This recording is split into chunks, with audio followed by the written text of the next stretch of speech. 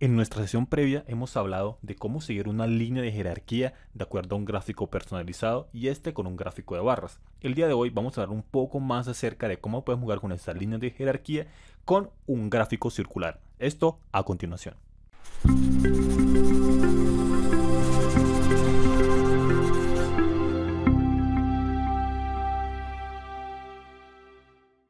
Hola, hola, recibo un cálido saludo de mi parte, quien te habla, Miguel Caballero, y bienvenido a esta sesión número 53 de la serie Power BI y más, una serie donde nos dedicamos a ver diversas características en Power BI, bien sea en Power BI de escritorio, en Power BI en la nube, en Power BI móvil.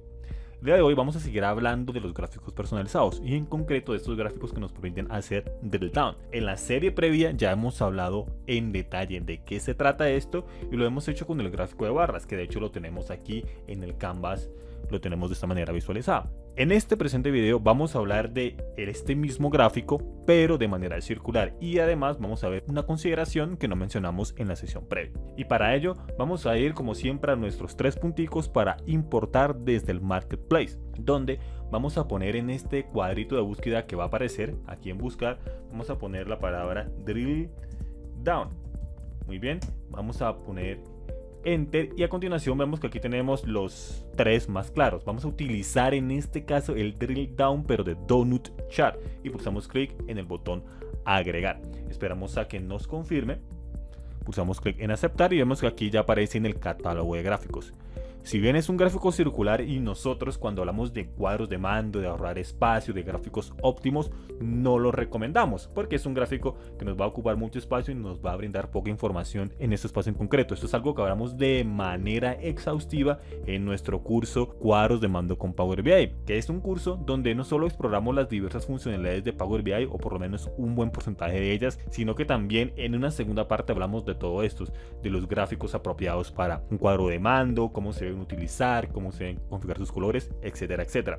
Sin embargo, para un reporte, para hacer la presentación, es bueno también utilizar estos gráficos circulares. Bien, entonces vamos a pulsar clic acá en nuestro objeto visual y vamos a ponerlo por acá en esta ubicación y vamos a darle un aspecto más grande para ver qué va a suceder allí. Nosotros sabemos que el drill down va a seguir la jerarquía. Es decir, en este caso vamos a aprovechar estas tablas que tenemos acá y vamos a poner acá info clientes, vamos a desplegar y vamos a llevar la ciudad y vamos a llevar el ID de cliente bueno, acá voy a eliminar porque no había seleccionado de manera correcta este contenedor de objeto visual que corresponde al donut chart del RAM. Entonces vamos a arrastrar así ciudad a su campo de categoría y también lo que sería ID de cliente a su campo de categoría. Necesitamos un valor numérico, en este caso desplegamos nuestra tabla de medida para arrastrar directamente ingresos netos a valores.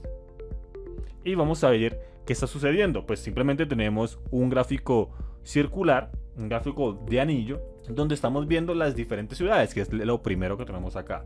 Muy bien, pero por ejemplo, si nosotros pulsamos clic aquí en Bogotá, él nos va a hacer zoom o nos va a llegar a ese siguiente nivel de jerarquía, donde estamos viendo los dos ID de producto correspondiente a la ciudad de Bogotá. Claro, aquí vemos que tenemos un filtro por acá realizado de acuerdo a nuestra segmentación de datos.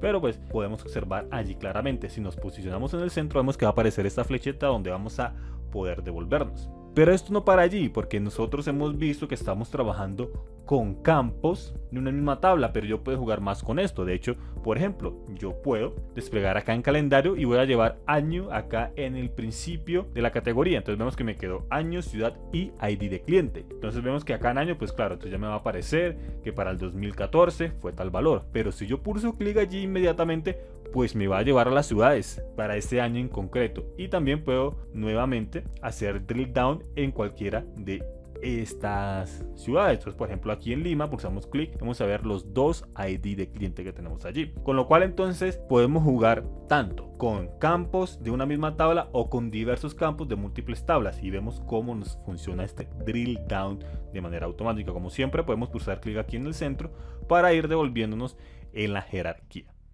Bueno, eso ha sido todo por esta sesión. Muchas gracias por haber visto este video. Si esta es tu primera vez aquí, me encantaría que te suscribas. Todas las semanas tenemos contenido nuevo, bien sea en el blog o en el canal de YouTube, que te puede ser de interés, relacionado con inteligencia de negocios, Power BI, Power Pivot, Power Query, entre otras funcionalidades. Muy bien, muchas gracias por haber visto este video. Hasta la próxima oportunidad.